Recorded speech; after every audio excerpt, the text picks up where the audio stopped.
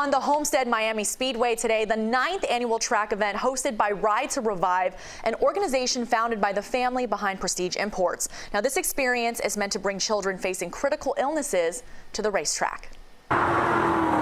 It's not always about the need for speed or being fast and furious. On days like this, it's better. Our mission is to provide as many miles of smiles on the road to recovery. Miles of Smiles is what the Ride to Revive is all about. It was started nine years ago by siblings Brett and Brooke David of Prestige Imports. So we came up with the idea to revitalize their senses by putting them in their favorite exotic cars, putting the top down and letting them get to live life again. And that's just what these children got to do today with their families by their side. Bob Brab's son, Max, was born with a heart condition. He's doing wonderful.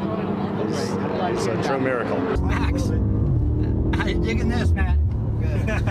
This is just right up his alley. He's just thrilled to death. Uh, he's a car enthusiast. He knows quite a bit about many cars.